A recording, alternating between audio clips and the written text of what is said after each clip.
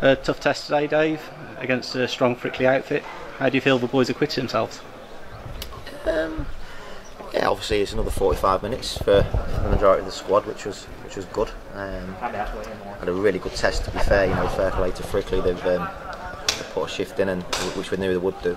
Um, but lots to work on with us. Um, there's good things. There, there was different things that um, we can use into training to try and make us a little bit better. But as you say, we're still carrying a squad of 22, um, which is, you know, obviously we're going to have to dwindle down soon. So performances will uh, dictate who. Uh, who stays and who, who won't. So uh, yeah, we're, we're, we're, pleased with the outcome. Another clean sheet, which is which is always pleasing. Um, both games we've not conceded, uh, won both games, and um, yeah, pleasing performances in some different ones. But no, um, a real good test. Obviously, a sticky pitch, so we couldn't get our passing game going as well as we could have done. Uh, but but no, really pleased. So lots to be working on. Is there anything in particular that really stands out that you want to improve upon? Um, really, it's just different partnerships at the moment. We're just asking lads to go and play free. Um, we've not managed to work on loads of shape. We've had little bits and bobs, but you know we're just getting minutes. Um, pleasing thing, no injuries today. That's two two games we've had no injuries. There's only um, Chris Salt that's done some work today, which is his first set of 300s, which is going to be pleasing. Tom Davey and um, Bradley Wells got minutes today. Their first session back from holiday. Craig King's first game. I thought he was excellent, real standout player for me today. Um, and also with Wafula on the right, you know, had good minutes again and looked a threat. Um, got his goal with Wafula as well. So uh, no, we're, we're, pleased with um, the work rate of the boys. That's never going to be questioned under me and Terry. Um, we'll always get an honest performance out of us. Uh, we just need to tighten up now against, um, which is going to be a real good test for us at home on a, on a good pitch where it's going to be wet, um, cut at the right size as well. So it allows us to try and play it down and more of a true true reflection of, of how yep. we can play. But um, yeah, looking time, forward to the Halifax game. Yeah, Billy Heath side are big, strong, physical, mm. so it will be another physical test, but a chance to contrast styles again. Well, it, it will be because you know Halifax will give us what a, a real conference North game would be like. Um, we've got quite a few of the squad that stepped up from from the Evo-Stik League.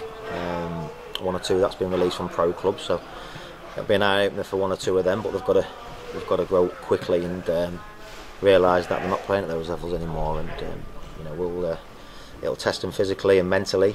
And um, first game at home, they're going to want to impress. Um, we haven't got time to to bleed them in. They've got to got to realise where they're at at this moment in time in terms of the club they're playing for and. Um, you know they're part of a team that's competing for each other's shirt. So you know I expect a, a better level of performance and um, yeah, we know what Billy's teams will bring, and that's why we've got the friendly. So uh, hopefully there'll be a big crowd in there and um, see what the new boys are all about. Yeah, the first look for the Gainsborough public in Gainsborough. So they've been two decent challenges away from home, home comforts. We need well, to make the place a fortress next season. Well, that's that's something that you know we, we, we want to do since we've been at the club. And last year our home performances were very good. Um, you know, most of our away performances were apart from Chorley and FC United. So um, they were both second half collapses. Um, but in terms of our home performance, I thought we were always bang at it. And considering the opposition we played, we, we were competitive, and you know we got decent results at home. So we don't want that to change, um, pre-season game or not.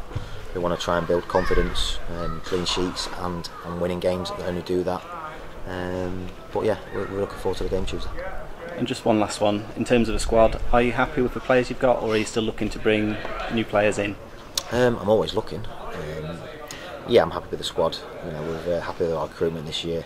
Um, just need to blend in a little bit more, but on first on first showings, you know, in terms of training, in terms of um, their attitude and, and, and the application. Um, you know, we've gone to Winterton on a Monday night. We've come here today. Both tough fixtures uh, for different for different reasons. Um, they've, they've, really well to that. The acid test will be Tuesday um, to see where we're where we're going to shape up for next year. um, you know, and uh, they're just learning about me and Terry and, and, about what it's like to be at Gainsborough Trinity player. Um, and yeah, really pleased on their, their first showings, but obviously loads of room for improvement. Thank you. All the best. See you on Tuesday. Cheers, Thank you. Cheers.